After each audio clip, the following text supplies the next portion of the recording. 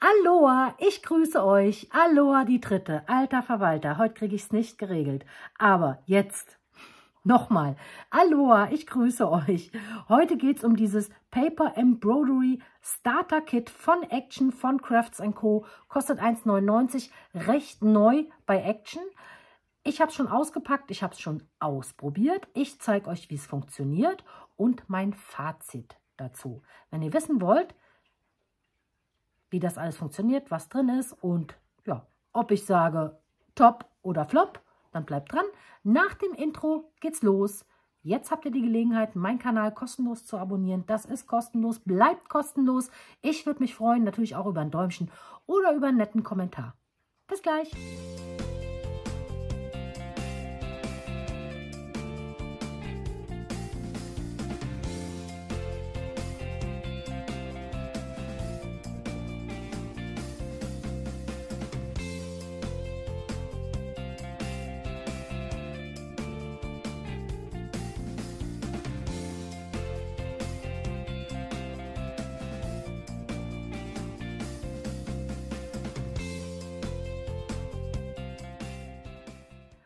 Schön, dass ihr dran geblieben seid. Danke, dass ihr meinen Kanal abonniert habt. So, ja, Embroidery, Paper Embroidery Starter Kit. 1,99. Ich konnte mir gar nicht so richtig was drunter vorstellen. Ich denke, oh, ist irgendwas mit Sticken und so. Ich denke, ach, probier mal aus. Ich habe auch die Rückseite angeschaut und ich denke, boah, könnte interessant werden. Das heißt, ich könnte, ich kann sticken, äh, was ich möchte, auf Papier. Hört sich total cool an. Ja, ich habe es natürlich schon aufgemacht. Ich habe es nur noch mal reingestopft für euch. So, wir gucken jetzt mal den Inhalt an. Und zwar haben wir einmal diese Schablonen, also das komplette ABC.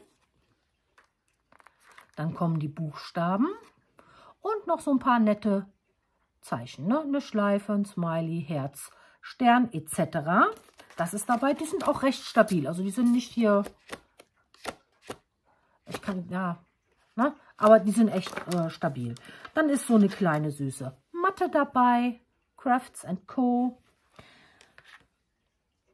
Und dann haben wir dreimal, ja, Garn. Da kein, es ist kein Garn, es ist wie Wolle. Es ist, keine Ahnung, fünfsträngig, achtsträngig. Ich habe nicht nachgezählt. Äh, auf jeden Fall alter Verwalter. Aber da komme ich gleich zu. Dann ist hier so eine Prickelnadel dabei und eine Nadel, womit man das ja, sticken kann. So, das ist sie. Ich zeige euch jetzt mal erstmal mein Beispiel. Nicht aufs Papier gucken, das ist schief. Ich habe einmal ho, ho, ho gestickt. Ging super. Was nicht super ging, mit dieser Nadel dieses Garn einzufädeln.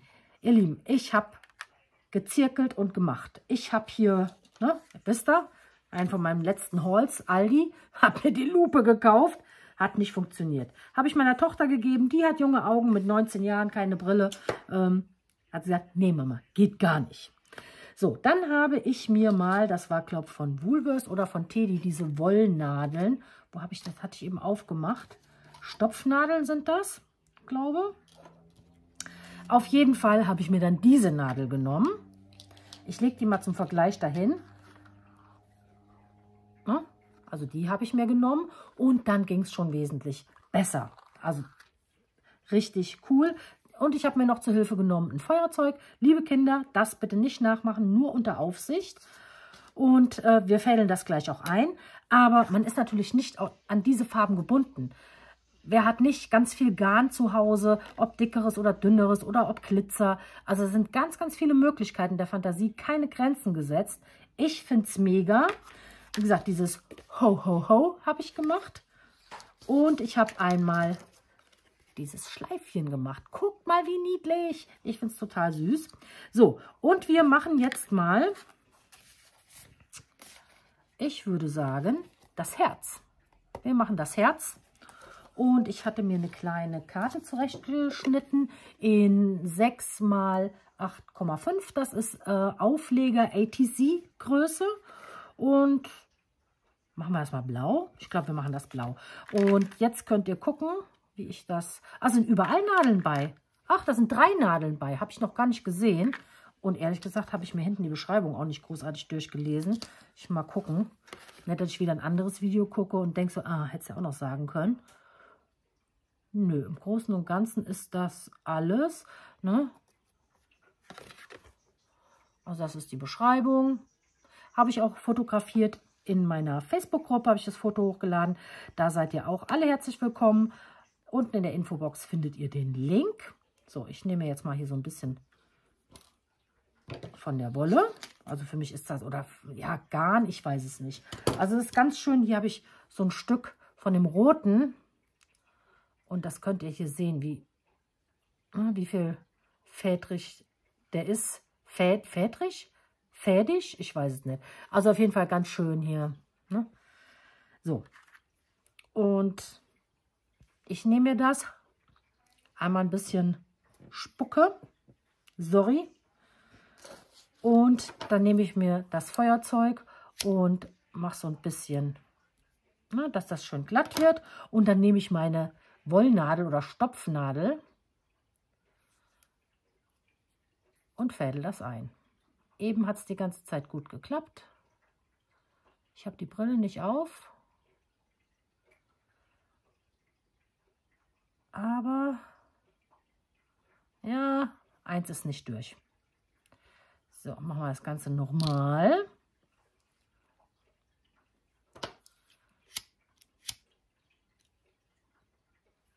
So, also das ist jetzt so mein Trick, um das reinzukriegen. Wenn ich das jetzt nicht schaffe, nehme ich die Brille.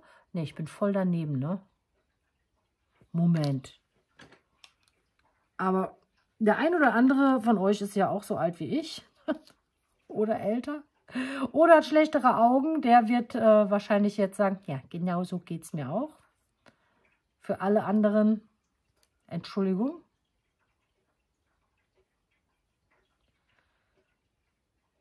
Nee, ich muss nochmal abschneiden. Aber das seht ihr, ich schneide das nicht raus, ihr wisst das. Ähm, ich schneide zwar meine Videos zusammen, also ich drehe ja immer in kurzen Sequenzen meistens. Und dann schneide ich das zusammen, aber ich schneide nichts raus. So.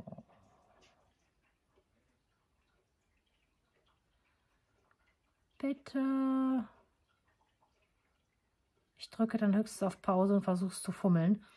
Aber auch das möchte ich jetzt eigentlich nicht machen. Es hat eben echt funktioniert, wo ich gedacht ja, cool, du bist voll sicher. Mach das mal. Ihr müsst jetzt nicht mit den Augen drehen oder vorspulen. Ha, geschafft. Seht ihr? Cool. So, drin. Auf jeden Fall habe ich gestern wesentlich länger gefummelt mit der kleinen Nadel, bis ich mir dann endlich die große Nadel geholt habe. Ich mache mir dann hier hinten so einen Knoten rein, vielleicht auch noch einen zweiten. So, möglichst dann übereinander. So. Und dann habe ich hier meine Matte. Dann habe ich hier meinen Aufleger. So. Und dann muss ich gucken, dass ich ungefähr mittig bin. Ich mache das so. Dann sehe ich auch ungefähr, ich, ob ich mittig bin. So. Ihr legt das auf und dann stecht ihr einfach in diese Löcher mit der Prickelnadel. Und das war es auch schon. Und dann zieht ihr die Fäden dadurch. Also es ist echt easy, nur das Einfädeln nicht. So. so, das war's. Na, hier hinten steht das so ein bisschen ab. Die kann man abmachen, wenn man möchte, muss man nicht. So, und dann fangen wir mal an. Auch das, denke ich, ist, ähm, ja, wie man lustig ist. Ich weiß es nicht, aber vielleicht habt, sind ja ein paar Sticker unter euch, die sagen, nein, so und so. So, und dann könnt ihr sehen, wie schnell das gemacht ist. Ich stelle es mir nur ein bisschen tricky vor, wenn ich äh, ein längeres Wort oder vielleicht auch einen ganzen Satz äh, sticken möchte, dass das halt alles ziemlich gleich ist, ne? also auf gleicher Höhe. Aber da hat man mit Sicherheit auch so Hilfsmittel, wie man das machen kann. Vielleicht mit Bleistift irgendwie ein bisschen sich eine Linie ziehen. Oder, oder, oder. Da sind wir ja alle kreativ. Und dann funktioniert das schon. Ich wollte euch aber jetzt nicht äh, zusehen lassen, wie ich vielleicht frohe Weihnachten stecke, obwohl das ist auch ziemlich lang. Die Buchstaben sind recht groß. Ich messe gleich mal nach.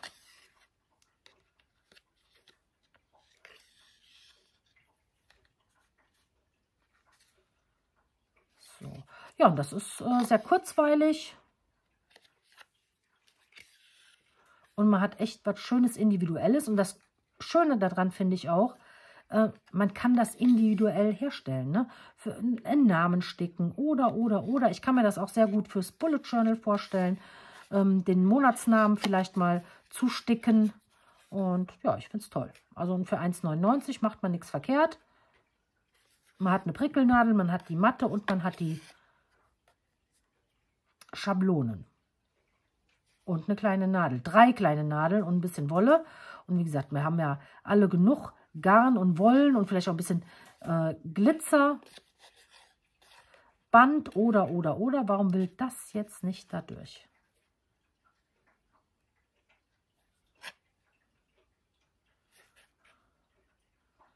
So, Moment. So. Ja, fertig. Schon habe ich dann ein kleines Herzchen. Naja. Ja, ich finde es cool. Vor allem, dass man da schön Namen sticken kann. Dann vernähe ich das hinten noch kurz. Und dann schneide ich das ab und fertig. Also ich empfehle auf jeden Fall eine größere Nadel. Weil ich bin gespannt, was ihr sagt, wenn ihr das Set habt. Ob euch das gelingt. Ne? Oh, die Schleife ist auch süß. Also ne, stellt euch mal vor, schön in einer anderen Farbe. Warum ist das? Ach, das ist nur so. Ne? Ho, ho, ho. Und jetzt wollte ich euch sagen, wie groß die Buchstaben sind. Natürlich kein Dings hier. So 10. In der Breite circa 2 ja, 2 cm und in der Höhe 5, 2,5. 2 mal 2,5 cm. Also man muss dann wirklich schon gucken. Ich hatte, ähm, das könnte man natürlich dichter zusammen machen, ne? Ähm, aber es würde nicht auf eine normale Grußkarte passen, außer ich würde die Buchstaben dichter aneinander. Das kann man ja machen, aber das war mein erstes und da habe ich erstmal so ich habe halt erst das Haar genommen und habe das da reingestochen. Dann habe ich mir das O genommen und habe an dem N hier oben, Moment, ich lege das mal so an, dass ich hier oben den roten Faden von dem Haar sehen konnte. Und dann habe ich gestochen. Aber man könnte natürlich auch einen Tick weiter jetzt so nach hier gehen und dann dass das näher dran ist und dann würde das zum Beispiel Ho, Ho, Ho auch auf eine andere Karte passen. Ne? Aber vielleicht hat, wollt ihr auch einen kurzen Namen ähm, machen oder vielleicht auch nicht Frohe Weihnachten, sondern Frohes Fest. Ne? Es gibt ja verschiedene Abkürzungen, was man machen möchte. Ich finde es cool. Also mein Fazit, super Set, 1,99, absolute Kaufempfehlung, aber holt euch eine andere Nadel dazu ne, weil das funktioniert nicht. Und ansonsten ist das top. Und vielleicht halt ein Feuerzeug zur Hilfe, je nachdem, was für Garn ihr nehmt. Aber hiermit geht das ja schon besser. Vielleicht habt ihr ja auch eine Einfädelhilfe. Ich habe nur diese alten, wie es die früher gab, aber die sind ja von der Qualität her nicht mehr so. Äh, die hole ich immer im Dreier-Set und die benutze ich zweimal, dann gehen die kaputt.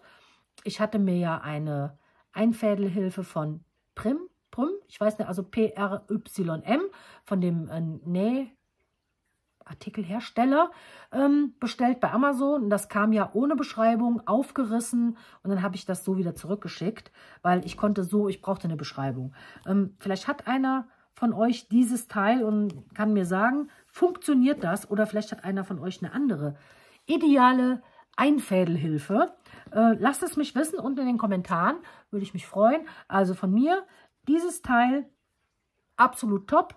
Andere Nadel und eventuell anderes Garn, weil man möchte ja auch nicht alles in Rot oder in Blau oder in Gelb machen. Ne, wir haben ganz tolle Garne von Action oder auch diese tollen Garne von Kreativdepot und noch, noch, noch, noch, noch. Also das, ne, das sind jetzt nur beispielhafte äh, Firmen, die ich dann nenne.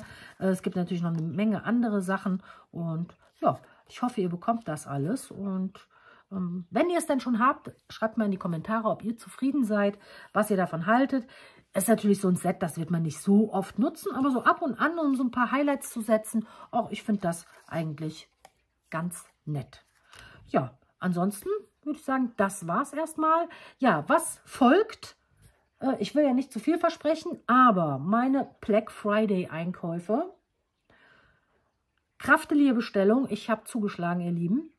Und natürlich Globland Kooperation, richtig cool. Ja, und irgendwann mal noch meine Geburtstagsgeschenke, aber mein Tag hat auch nur 24 Stunden. Bitte seht es mir nach und ich muss das wirklich komprimieren. Ich werde keine äh, acht äh, Videos zu meinen Geburtstagsgeschenken machen, aber schon ähm, eine kleine Wertschätzung für alle, die an mich gedacht haben. Auf jeden Fall. Ihr Lieben, bleibt gesund, kommt in meine Facebook-Gruppe, meldet euch an zum ATC-Tausch in der ATC-Tauschgruppe von Nili von Hindi und meiner einer. Äh, ihr seid alle willkommen. Unten in der Infobox steht die Handynummer, da könnt ihr euch drüber anmelden per WhatsApp. Und ja, ich glaube, ansonsten hatte ich alles gesagt. Ich zeige euch schon mal eine kleine Sneak Peek mit ja, meine, meinem Black Friday äh, Deal, was eigentlich auch Geburtstagsgeschenk ist. So, das war's aber. Bleibt neugierig, schaltet wieder ein und bleibt gesund, das ist das Wichtigste. Bis dann, tschö!